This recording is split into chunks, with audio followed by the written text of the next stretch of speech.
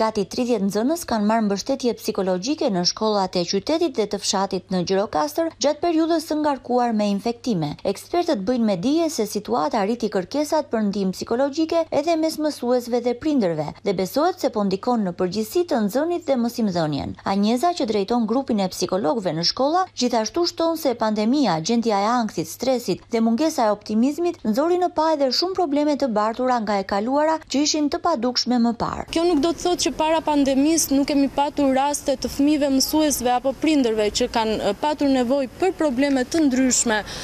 të marrin shërbimin psikologjik, por duket se situata pandemike dhe një problem që na përket le të themi të gjithëve, i ka afruar